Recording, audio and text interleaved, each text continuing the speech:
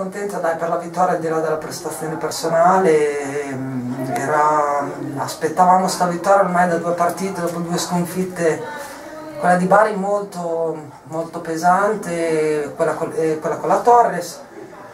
Dai, siamo riusciti a portare a casa i tre punti, l'importante era quello, poi dai, sui dribbling dopo ne, ne parleremo. La prossima volta.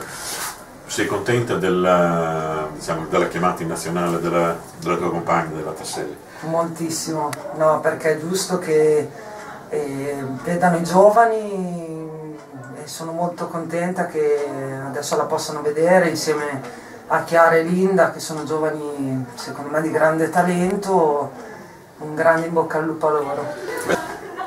Quest'anno sono molto d'accordo con la filosofia del mister che se giochi bene continui a giocare, quando fai un errore subentra l'altro e finché non fai errori Ehm, diciamo che è uno stimolo a dare sempre il massimo e sempre di più e a sbagliare il meno possibile.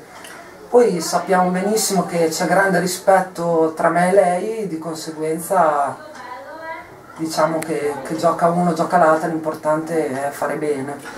Pensate di avercela fatta anche quest'anno a salvarvi senza passare dei play-out? Eh, no, non ancora, cioè noi a inizio anno siamo partite con l'idea di non pensare ai play-out, è logico che un occhio ce lo, ce lo, dobbiamo fare perché abbiamo perso veramente tanti punti per strada e, e quindi bisogna stare attenti, e 11 punti alla fine da, diciamo, dal diretto avversario non sono niente, cioè perché c'è lo scarto di 10 punti, ne bastano 9 e fai play-out, quindi sì.